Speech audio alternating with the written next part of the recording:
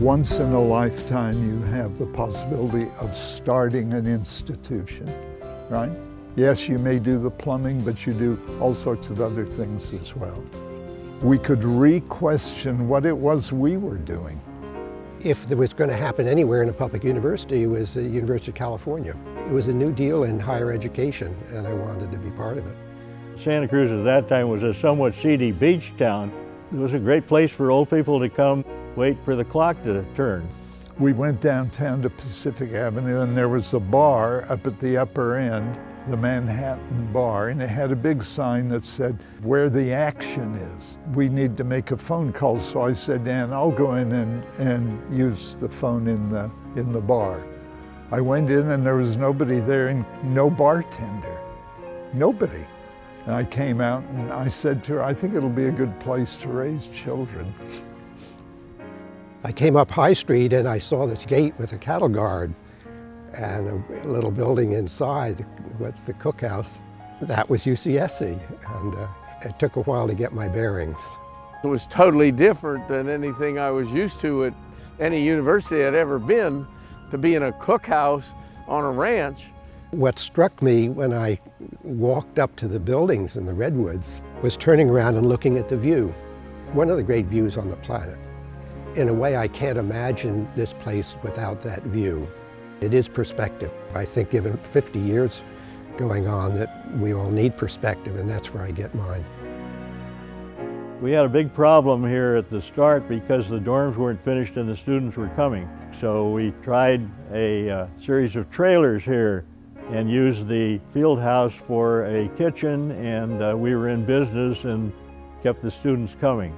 My parents had come up uh, with, and they said, we don't want to alarm you, but we didn't see any buildings there. You know, it was a big adventure, a big pioneering adventure. I would have paid them to work here.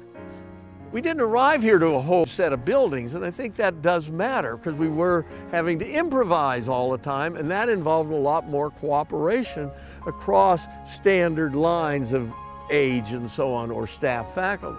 In the beginning, it was a family. It really was a family affair.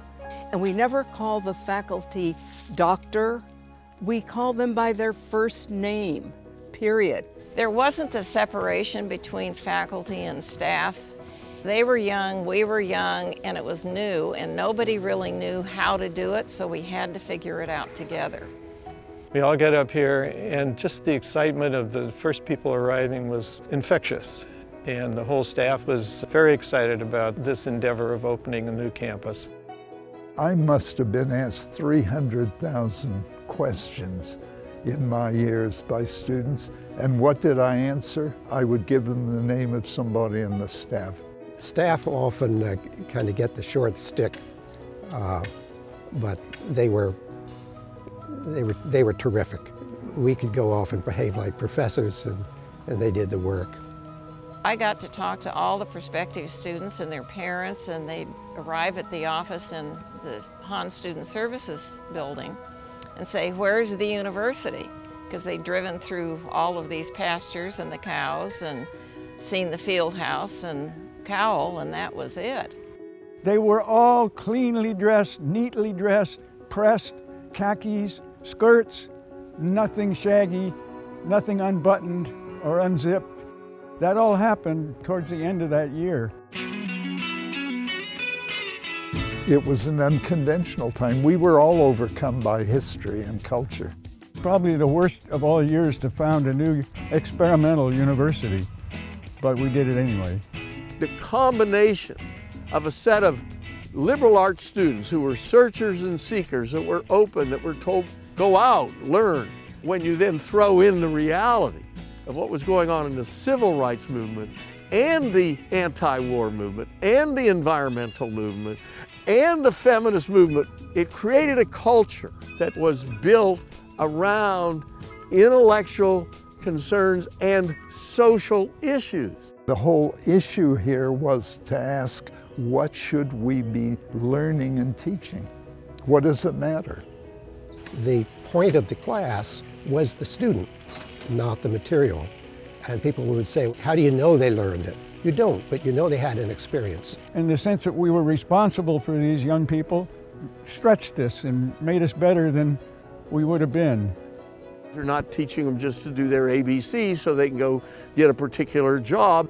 And for faculty, that's a joy, that's a delight.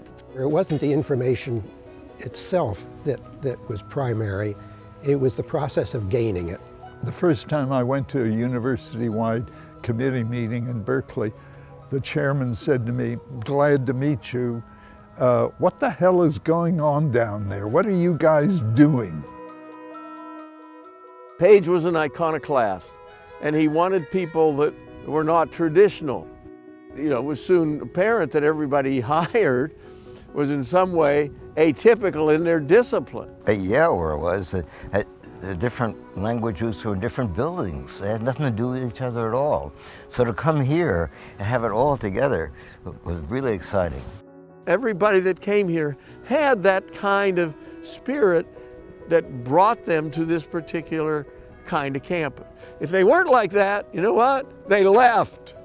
And I know people that left, they couldn't stand Santa Cruz. They couldn't stand that their office was open, that undergraduates were knocking on their door.